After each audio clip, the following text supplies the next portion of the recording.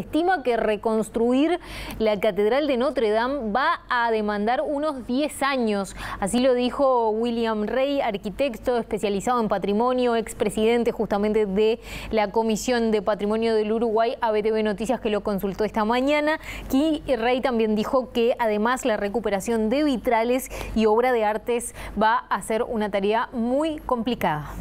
Es una situación obviamente muy triste, paradójicamente parece ser el resultado de una operación de restauración que tuvo problemas en su operativa. ¿no? Este, a veces suele suceder esto, eh, no es deseable y hay que tomar las mayores medidas de seguridad en el proceso de la restauración para que no se produzcan incendios de este tipo.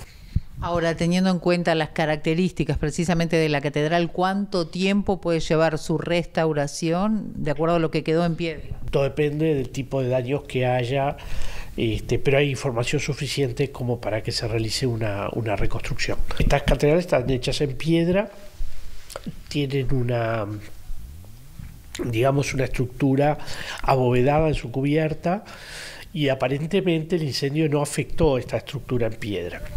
Esto es importante porque, digamos, es casi la esencia de esta arquitectura.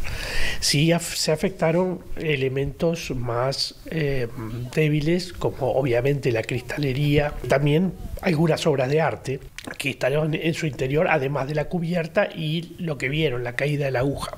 Va a llevar años y capaz que podemos estar hablando entre 10 años y algo más. Eso depende, como dije, del enfoque que se va a establecer respecto a qué hacer.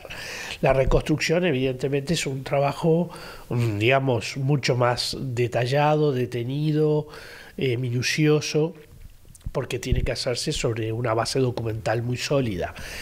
Ahora, eh, si se trata de una intervención a la moderna, de una intervención eh, de forma contemporánea, que no creo que sea el camino, este, bueno, ahí ya estamos, podemos hablar de otros tiempos más cortos.